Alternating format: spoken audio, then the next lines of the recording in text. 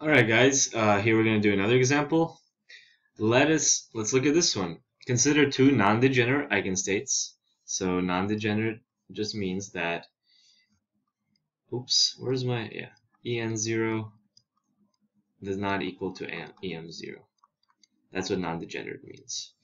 Um, n0 and p0. Remember, n and p just refer to two different eigenstates of the system. Okay. Suppose we know we know the first order corrections. Okay, so that's known. I like that. And then so we can write the states as this. And this is order lambda squared. And let's calculate this overlap. Okay, that seems simple enough.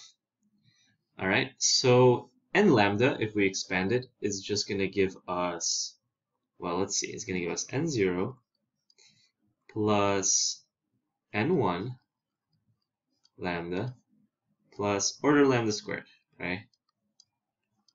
And this is all multiplied by p lambda. p lambda is nothing more than p0 plus lambda p1 plus order lambda squared, right? Okay, so let's expand that out. And let's see what we get. First things first, we have n0, p0. Okay. And then we have, let's collect orders of lambda now. So then we're going to have, let me do it in a different color, just so it looks pretty. And then we have plus lambda times, okay, well we have n0 p1, right? n0 p1. And then from here, so n0 p1 comes for this. And then n1 p0 comes from that. Plus n1 p0. Okay.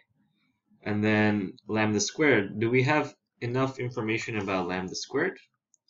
I'm not sure about that one because for lambda squared, what we have is, well, lambda squared is only this guy and this guy together. So n1, p1. But then we also have things like n0 times order of lambda squared. So that's going to give you more terms that are orders of lambda squared, but we don't know them because we don't know the order of lambda squared correction. So we can't use this. We can't actually use this. We can only know this guy up to first order. Okay, we can only know this guy up to first order, and that's because we don't know this order lambda squared term. But regardless, let's let's try to calculate this. So let's see. Um, get a new color here. So anyways, we know, let's look at this guy first. N0, P0. You guys should know what this is by now. Um, this is nothing more, this is 0, right? Because the initial eigenstates, the unperturbed eigenstates, are orthogonal to each other. So this guy is 0. Okay. Let's look at the next term. N0, P1. What is that going to give us? N0, P1. Well, we have a formula for P1, right? The formula for P1 is nothing more than, let me get a different color here.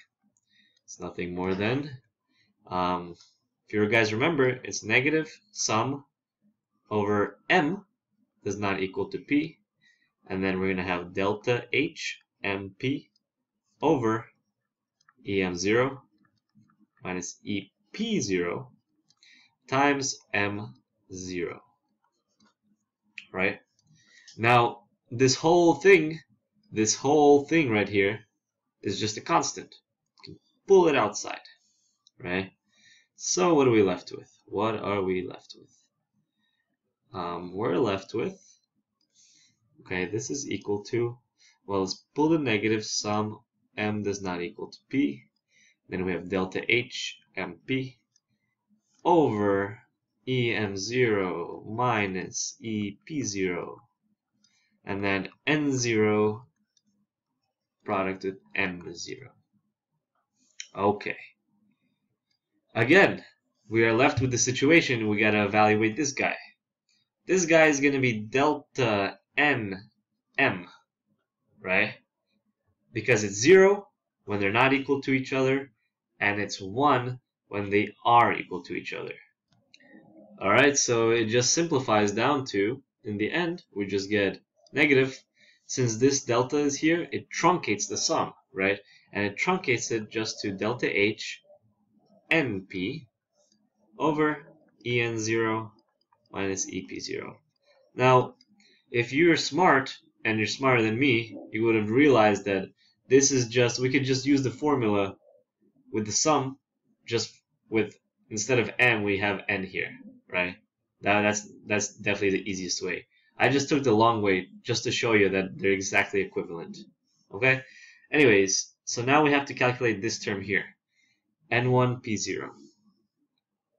Okay, and if you notice, um, n1 p0 n1 p0 is nothing more than p0 n1 complex conjugate, right? Because when you complex conjugate an inner product, you change the bra with the ket, okay? And this inner product is nothing more than sum over, uh, actually we don't even need the sum because let's, let's do this shortcut right away. This matrix element is nothing more than negative delta H Pn over EP0 minus En0, right? Just using our standard formula, okay? So now what I want to do is I want to combine these terms together. So I'll write it up here real quick. Actually, yeah, I'll write it over here. Um, okay, so N0, P1. Oh, sorry, and this should be complex conjugated. But if you notice, the complex conjugate of this guy is just itself. Because the perturbation is uh, a Hermitian, because it's a Hamiltonian, right? And a Hamiltonian is Hermitian. So H dagger is always equal to H. This is property of Hermitian matrices. Alright, so it'll just be the same thing.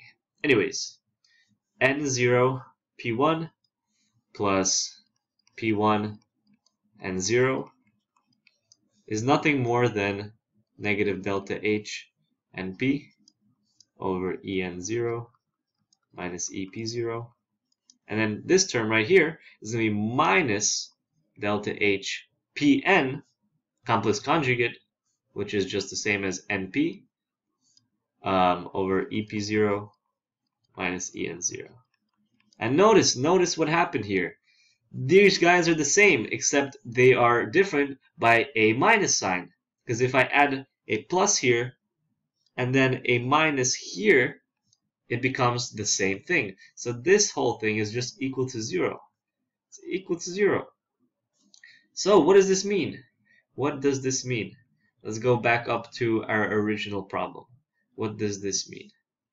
This means that this guy right here, this guy is equal to 0 plus order lambda squared. Okay? And if you actually calculate it out, this whole term is just going to be equal, this whole inner product is going to be equal to 0 for all orders of lambda. And this is a remarkable statement. This means that if the two if the original eigenstates in the unperturbed basis are orthogonal, which means that as you know, n0, p0 equals 0, if they're originally orthogonal, they will stay orthogonal to each other. Okay? No matter what. No matter what. So if they start orthogonal, they will stay orthogonal. And this is a very important fact that we're going to use again and again and again throughout this whole course. Okay? So that's another example. Um, Let's do one more and then we'll get straight into the second order corrections. All right, I hope to see you then.